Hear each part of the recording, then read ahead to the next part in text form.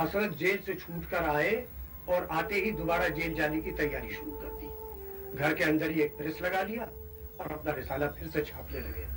दो तीन साल के अंदर फिर गिरफ़्तार कर लिए गए। ये सिलसिला सन सैतालीस तक चलता रहा। एक कदम जेल के अंदर, एक कदम जेल के बाहर। उन्होंने हर सियासी पार्टी का मज़ा चक्का, लेकिन दिल में सिर्फ़ एक शोला रोशन था, हिंदुस्तान की आज़ादी। उन्होंने गुलाम हिंदुस्तान में आँख खोली और आज़ाद हिंदुस्तान में 阿黑杀死。